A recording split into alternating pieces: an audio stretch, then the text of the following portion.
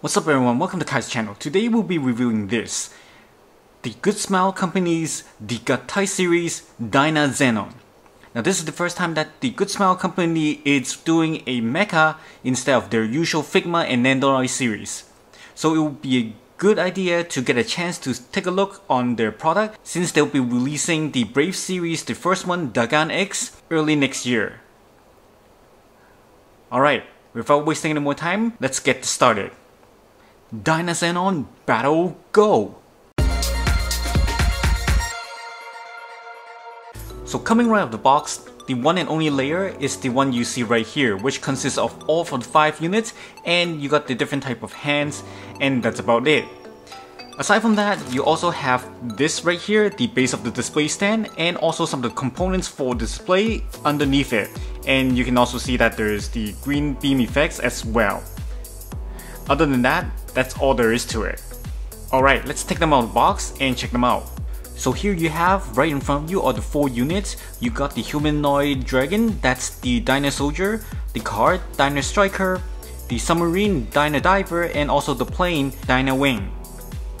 So just before we move on any further, just want to let you know that these are not diecast products, so if you were expecting that, then I'm sorry to tell you these are not what you're expecting and you can definitely tell by picking them up they feel really really light. And other than the screws and on smaller metals I don't think there are any other metal components that's within these. Now as you can see there's actually different colors that's color on it. But aside from the metallic colors the gold and silver and some of the blues other than those, the other colors that you see right now, those are all from the basic plastic that they have. So just by the look of it, they actually do look a little bit cheap. And definitely not what I expected because of the price that were paid for it, the 22,000 yen, and also what we've seen from the website and also on the box actually gave us a false sense that it actually would look a lot more prestige. Alright, let's check them on one by one and see how they are. So starting off, we have is the Dynawing. Now the Dynawing is actually a very thin plastic that shapes like a plane and the overall coloring is actually red and black with the metallic silver that's colored right in the front where the lasers are and the front of the wings. The silver is actually painted very nicely. And then you got the metallic green and blue as the window on the top. But again, just like what I mentioned before, the overall does actually feels very cheap if it wasn't for the silver that's colored. Now the wings can actually move, you can see that these points Right here, they're like ratchet-like. And then there's clicks every time you move. And same for like the smaller wings right here. However, there are already issues that I found, which is this wing right here. This one doesn't actually click. And I tried to fix it, but didn't work. So it actually is very loose right now. Now there are also these little wheels right here underneath the lasers so that you can actually roll it a little bit but it actually hardly does anything. So not sure why they're even there. And that's it with the Dyna Wing. Next we have is the Dyna Striker. Now the Dyna Striker is overall its gray color with some of the metallic colors on the windows, the metallic blue, and also the sides is metallic silver. But aside from that, the rest of them are plastic even for the fingers that's right here, the gold. I really wish they have colored it in metallic gold instead. It actually looks very cheap. Now there aren't really much here on the Dyna Striker other than the fact that all these four wheels, they actually spin and it does actually spin quite smoothly. And so it's actually rolling really well. But aside from that, there's really much nothing here other than the fact that these can turn. Now next is the Dyna Diver, which the Dyna Diver, the coloring is actually very different from the rest, which is, you can see, it consists mostly in black, and then you got the silver painting, that's done really nice. And then underneath that, it's actually in red, so very different from the other colorings. Now the difference between this and the rest of the unit is that there's actually a gimmick that's in here, which is the button right here. You can see on the side. If you press on it, press on it and then slide it to the front.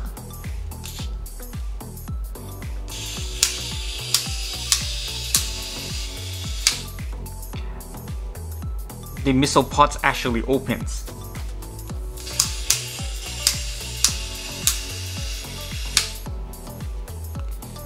And these will open out. Same goes for the other side.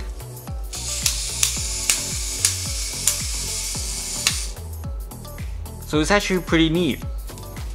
Although however the missiles inside, the red parts, those are actually painted on so nothing actually do fire out which is something that I find a little bit disappointing but then again each individual missile pods are open independently so this is actually a very nice gimmick that they designed on it and I like it a lot.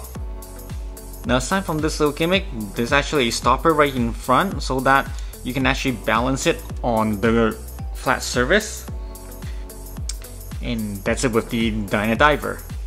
And lastly is the Soldier. Now the Soldier, unlike the other four units, is actually probably the most agile of all because of the humanoid shape that it's in. And you can see that on the top, the head actually can turn. It can actually go 360 shoulder joints goes horizontal and goes forward. Underneath the shoulder, this part actually can rotate. Elbows you can bend to 90 degrees. And then the wrist can actually rotate like this. And finally is the claw, which you can open up the finger right here to be like this, although there's actually nothing to hold, but you can actually open it and close it. And then you got the thigh, which you can rotate.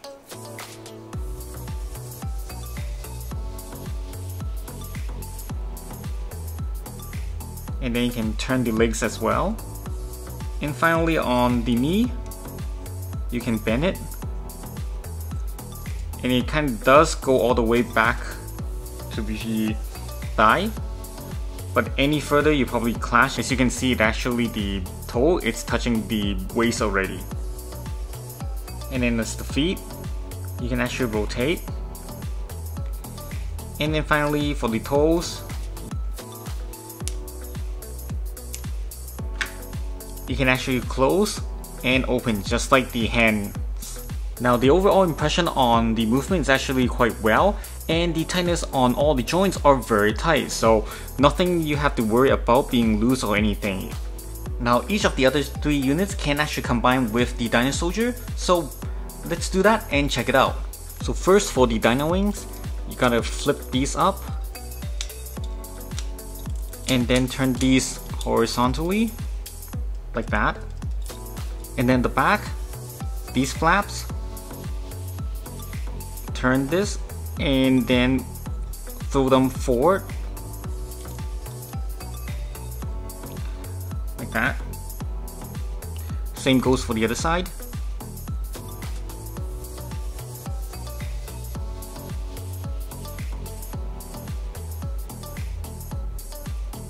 And that's done for the Dyna Wing.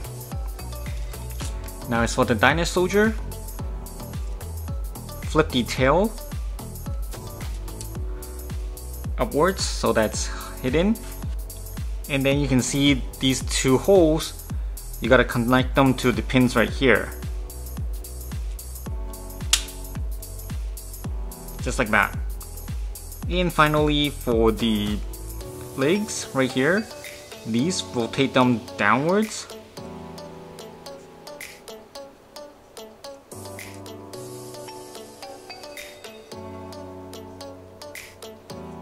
And there we have it. So here it is, the Dyna Soldier wing combine. Now I'm gonna say that it actually looks pretty cool. With the wings on the Dyna Soldier, you can finally see that it's in flight, so definitely looking cool right there. Alright, let's move on to the Dyna Striker to combine. Now as for the Dyna Striker, first split them in half, like this. and then open this section right here which actually flips up like that. Same for the other side.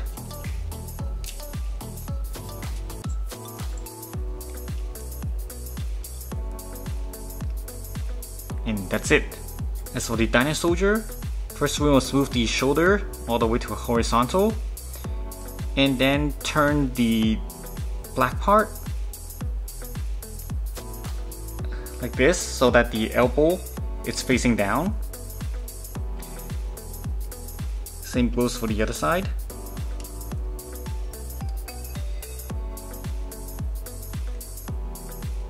Make sure the hands is correct as well.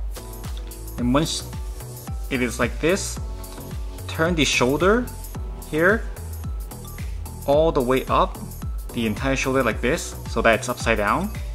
Same goes for this one. And once that's ready, you take the Dyna Striker and put it on. You can see that there's actually a pin right here and there's a hole right on the arms of the Dyna Soldier. So you just match them up. Now the finger might be blocking it so make sure that you close this properly and once that's in, close it up like that. Same goes for the other side.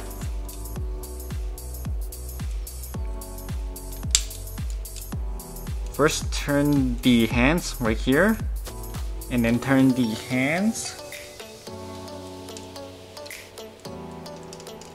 like so. The back wheel, flip them out.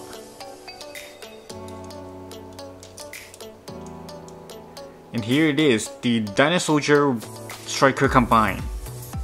Now the striker is actually pretty heavy, so if you see that you're in this position with the striker storm, make sure that you actually use the stand because if you don't, here is what will happen. You can see that the arms, the joints, it's not supporting the weight, it's slowly diving down. I would suggest you to use the display arm, which does comes with, and you can see that it actually locks on the back so that it supports the weight. Now the overall is actually really cool with the Striker Storm with all the wheels popping out to the front. But other than that, there's actually not much gimmicks to it. Now as for the diver, these gold right here, they're actually handles that you can flip out. And once they flip out, just have the Soldier to mount on it and grab the handles and that's it. And here it is, the Soldier Diver Combine. But I honestly think the combine wording is actually really misleading because all it's actually doing is just holding on to the handles and having a ride, which is honestly very different than combining together. But hey, that's what they call. Alright, and that's it with the smaller combination between all the units and the Soldier. Let's move on to the actual combination of the DynaZenon. So starting off with the Diver, you turn the top front section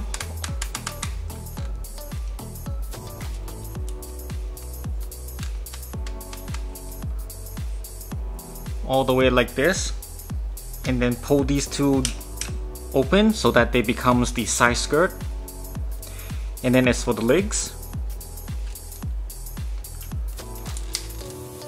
pull to extend to reveal the knee joints. Same for the other side. And the legs is ready. As for the Dyna Striker split in half and then open these. And that's it.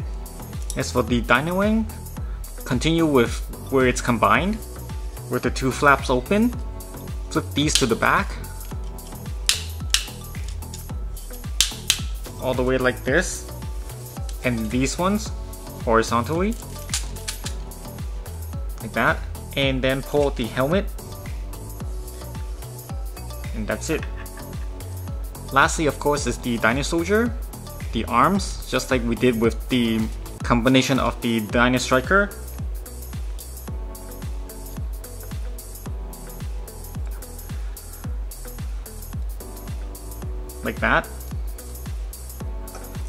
Same goes for the other side. Once we have that, rotate the arm, this time only to the back, like this. And then as for the leg, straighten them out, and then lock the two legs. You can see that there's a pin and a hole on the side, and just lock them in like this. Close the claws to the feet. Once that's done, close the tail on the back and then flip the leg and bend them all the way to the back like a box like this. And then rotate the head upwards tilting the top. Next we have the Dynawing now you can see that there are the two holes right here basically slide them to the gap that's on the shoulder of the Dynasoldier. So make sure that you do that on both sides simultaneously.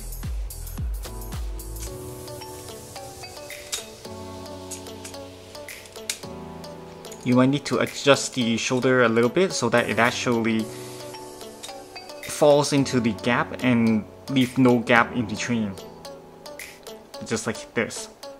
And once that's combined, slowly rotate the shoulder joint down so that the holes when combining the Dynawing, these two holes, are together to these two pins right here.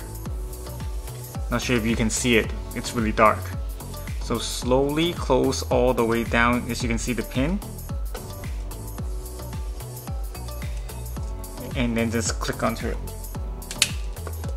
Like that.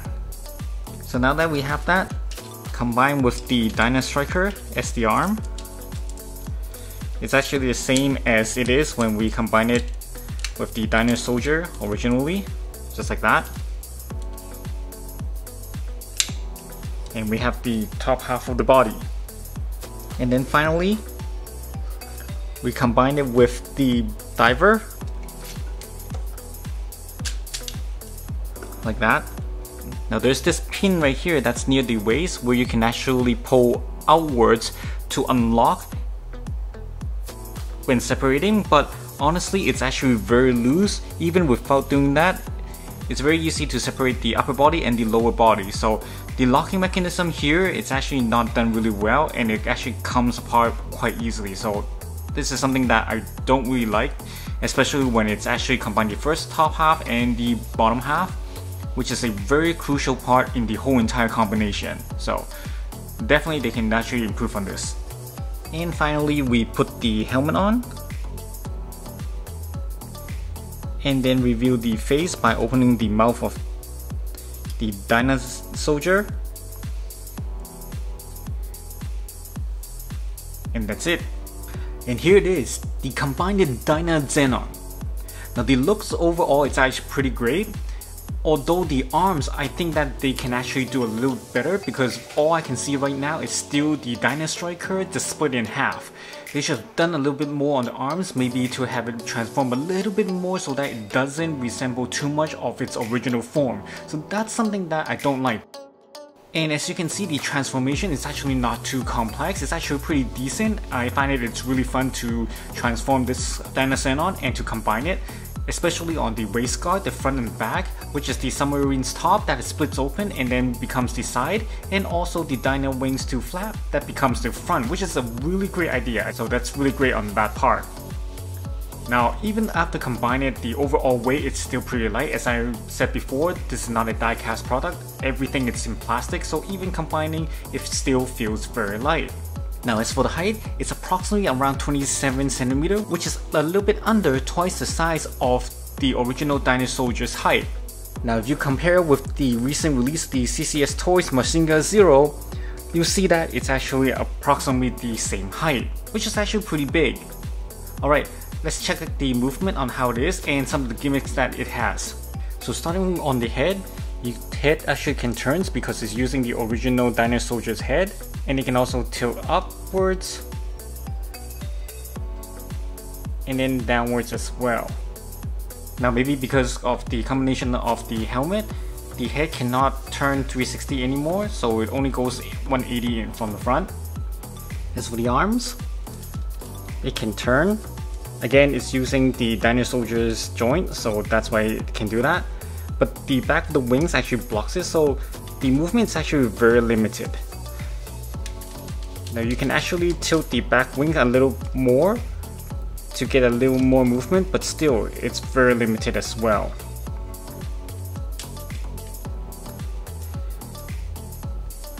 As for the elbow, goes from here all the way up to this point, which is approximately 90 degrees. Or it's actually 90 degrees. And then if you actually pull out, a little bit, you can see that there's a joint which allows you to actually turn and you can hear that it's a ratchet-like joint. So it actually turns from this all the way to here, approximately around 90 degrees as well. So it's actually quite good. And to be honest, I think it actually looks better with the joint sticking out a little bit. So maybe I should do it on the other side too.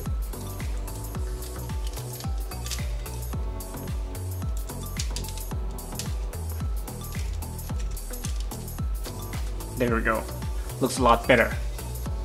Now as for the hands, it actually comes in three different hands, which is one, as you can see here, the default one, which is the finger is all flat out. And this one, there's actually a little gimmick here where the side, this piece can actually flip out. And the reason for that is that you can combine with the beam effect like so to becomes the Dyna Saber. And you can do that with both hands. And here's the second one. Now the second one it's actually a fist and the gimmicks here is that it can actually open all these fingers so that it actually grabs on something. But unfortunately there's actually doesn't come with any kind of weapons in this set that for it to hold. So not sure what this gimmick is for.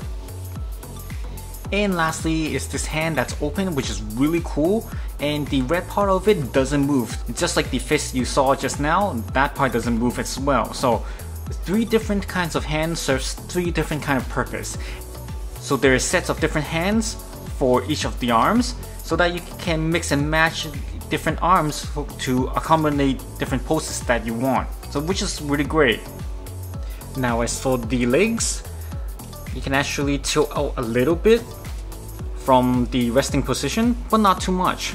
It's actually for standing mostly. And then you can rotate to the front. Just be careful of the parts. And goes forward all the way horizontally and then backwards as well. Again, be careful of the cannon. Like this.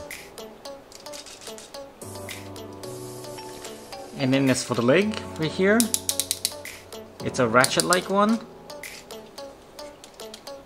That also goes all the way up as well. Which is pretty great. And last And lastly is the feet, which is a ball joint that you can twist around for you to move and place it however you like. And then for the last gimmick, which is these cannon here, which you can flip out all the way up here. So it looks like this. And that's it with the Dynazenon. Now let's separate them and put them back together, but this time as Dynarex. So starting off is the Dyna Soldier again. First, we twist the head all the way to back and flip this antenna downwards. Next we open this chest piece and also this back piece right here, open it out.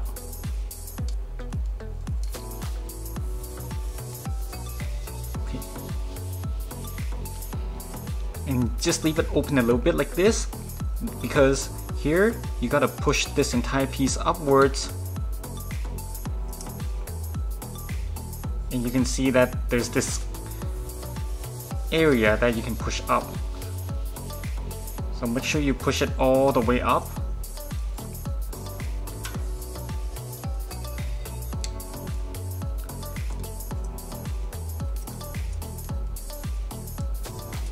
Like this that goes over the Dynasoldier's head and then you can close the head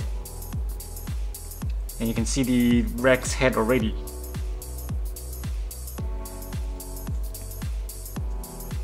then, then for the arm twist it backwards so that the elbow is facing forward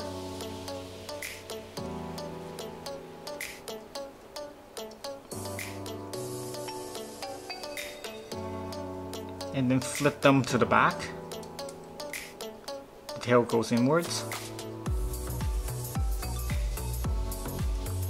And then as for the leg, pull them out and you can see this flap that sticks out. And make them horizontal like this.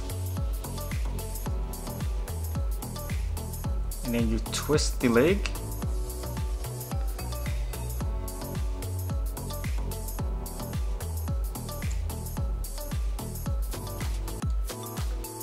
so that it bends forward and then finally get the feet and adjust it so that it becomes the claw.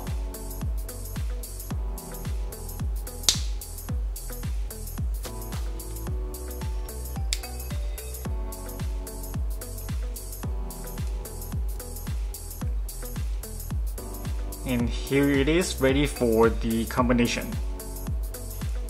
And then for the diver again split this open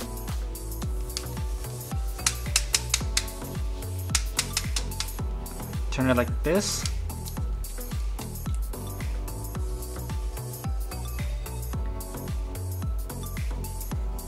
and then this time you pull these outwards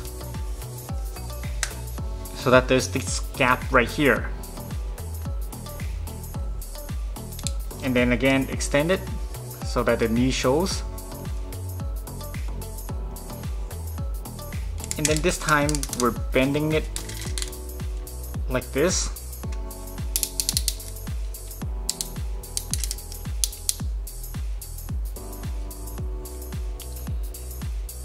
And as for the feet, pull these claws out. And then you can adjust them to the side by pulling in them outwards like this. Same goes for this side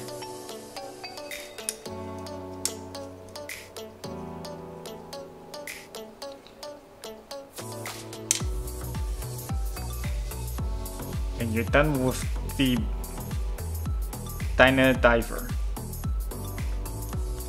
is for the Dynawing. Again, with these two flaps already open, all you have to do is bend it upwards like this and turn these to the side.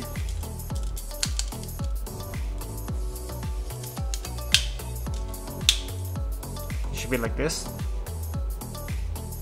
so that the sides are horizontal and then for this part right here the silver part, you can actually pull this out. And then there's this mini wing that comes out of it. Same goes for the other side.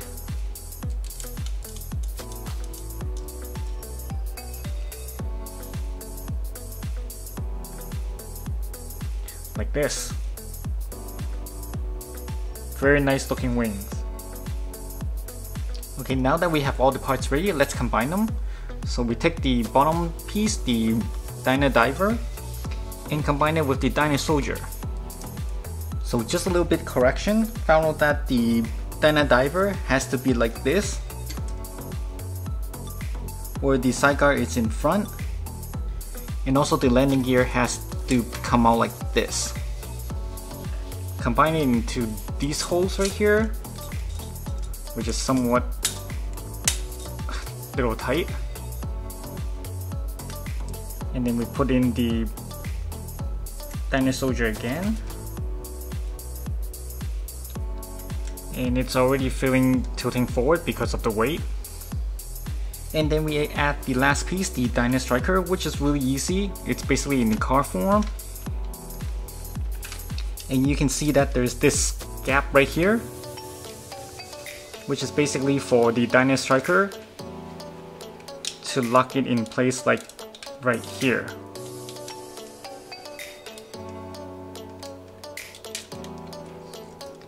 Like this.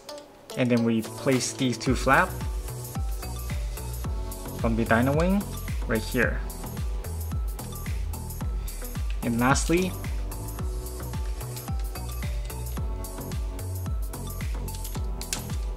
tilt this a little bit so that it acts like a tail and switch these two wings to the back. As for the one final piece, the helm goes on right here.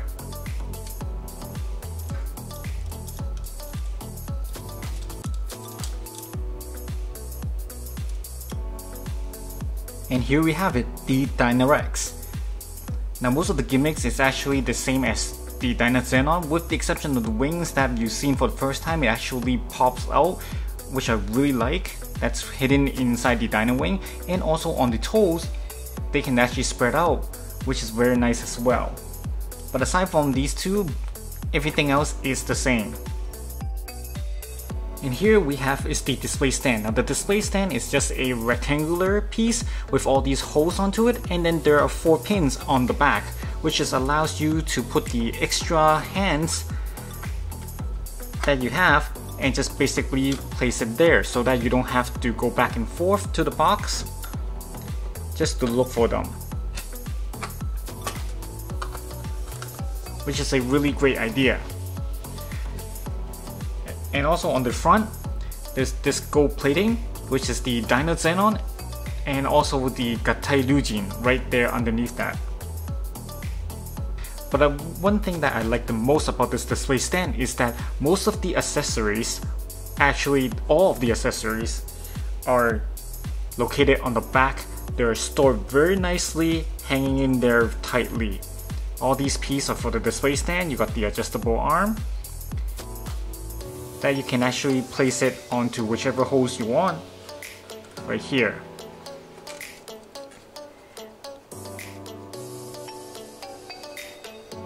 And these little pieces right here, each of them are different scenarios that you place onto the Dinosaurus units for you to display.